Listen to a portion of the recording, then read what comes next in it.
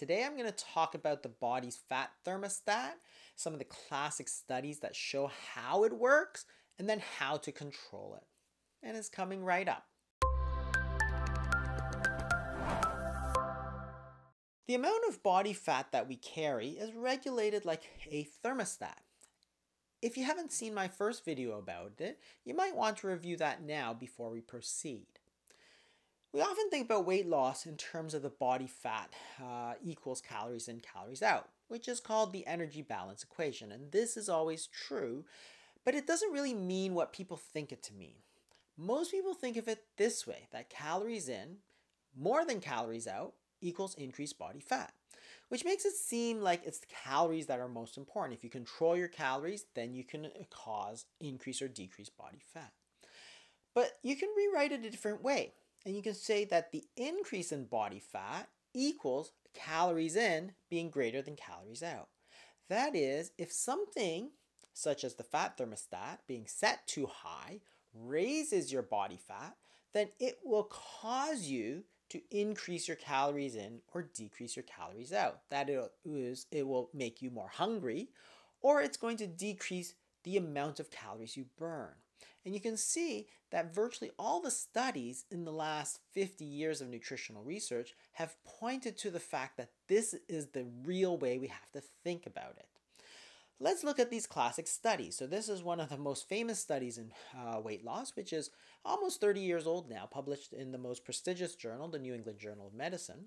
And what they did was they took participants and they controlled their calories. So they gave them more to give them a 10% weight gain then those who gain weight return to their initial weight, then to 10%, then 20% uh, weight loss. Your body wants to be at a certain fat percentage. If you gain weight by increasing your calories in, then your body should actually resist that by increasing the number of calories it burns. And that's exactly what we see. In fact, those people were had increased their energy expenditure by almost 500 calories per day. So then when they returned to their initial weight, they were right at their thermostat. Their energy expenditure, which is the calories they burn, also returned to baseline. Now, here's where it gets interesting because most of us want to lose weight. We try to go down. The body has a fat thermostat, which is set at a certain level. And if it notices that your body fat percentage is too low, then it's going to increase your body weight. And how's it going to do that if your calories that you're eating are fixed? Well, it's got to reduce the amount of calories you burn. And you can see in this study it, that that's exactly what happened to the body. It reduced the number of calories it was burning by 300 calories a day, which is going to slow the weight loss and try to return you back to that uh, normal equilibrium. And the, the, the, classic studies go back even further. This is from 1984, which is almost 40 years now, and they looked at how many calories people were burning. And they controlled, uh, they, they, they compared three groups the control group, which is normal, non obese people, they controlled those who were obese, and then they compared those who were obese but had lost weight. And they looked at how many calories they were burning. So if you compare the control group, they're burning about uh, 1400 calories per meter squared, which is probably about 2000 calories for an average sized person.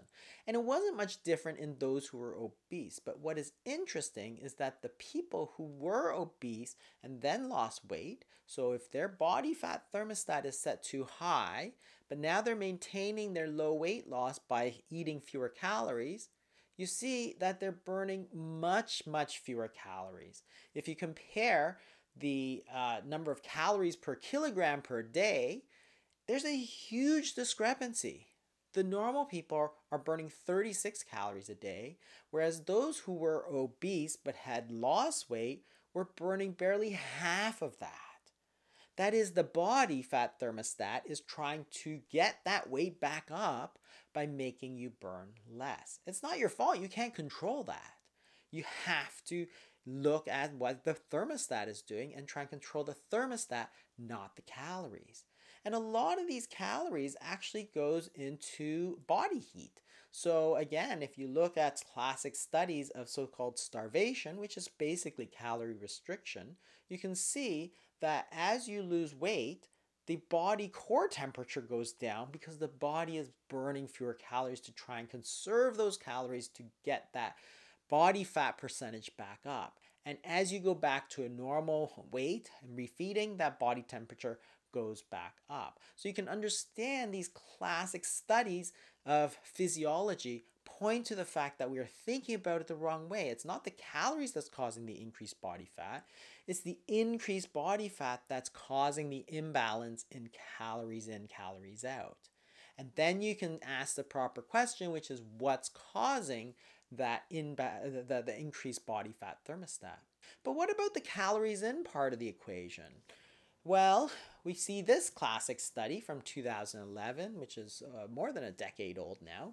As people lost weight, you could see that certain hormonal changes happened. That is, ghrelin was much higher. Ghrelin is the hunger hormone. So, in fact, people were hungrier. And other hormones, like satiety hormones, such as peptide YY, amylin, and CCK, were much lower. When you take that all into account, what you see is that those people who had lost weight over that year were hungrier than normal. It wasn't some psychological voodoo. These people were physiologically hungrier because their hormones were telling them to eat more. You must increase the calories in because the body fat thermostat has sensed that the body fat percentage is too low. So, what controls this body fat thermostat? That's the real crucial question. It's not calories. Calories is downstream. You want to know what's upstream. And really, the answer, which I talked about in the obesity code, is the same thing that controls everything in our body that is, the hormones. There are certain hormones that are going to increase your body fat thermostat. How do we know this? Because we can give people these hormones and we can see that they gain weight. So, insulin and cortisol are the two main hormones that are going to increase this body fat thermostat. Why? Because we have synthetic insulin.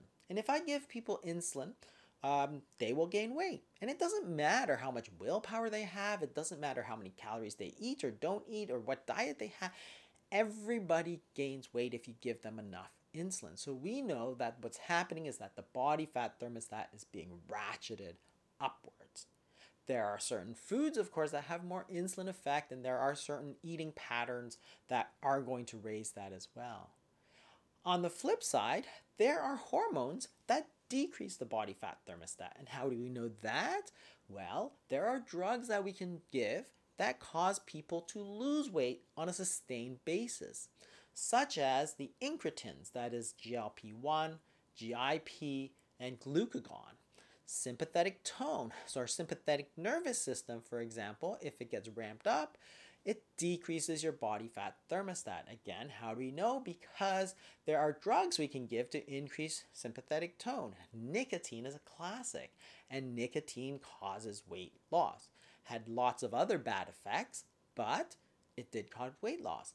The original drug fen-phen, which was a very popular diet drug uh, in the late 80s, also had multiple bad, bad effects, but it did cause weight loss. What you need to do is focus on what is the hormonal effects of the foods that you're eating. What is the hormonal effects of the pattern of food you're eating? That is, do processed foods affect it? How do they affect insulin? How do they affect cortisol? How does eating early as opposed to eating late affect things? How does eating more carbs or less carbs affect it? That's what you need to know because if you change your dietary pattern, whether it's by adjusting your fasting uh, interval, by adjusting the timing of your meals, early versus late, by adjusting what you eat with your meals, such as vinegar, which I've talked about in other videos, uh, eating uh, naked carbs, for example, uh, eating uh, carbs later in the meal as opposed to early in the meal. All these things affect your hormones, and ultimately, it's the hormones that affect our body fat thermostat, which tells us whether we should gain or lose weight. If you focus on the calories, you focused on the wrong thing, and therefore you won't be able to sustainably lose weight.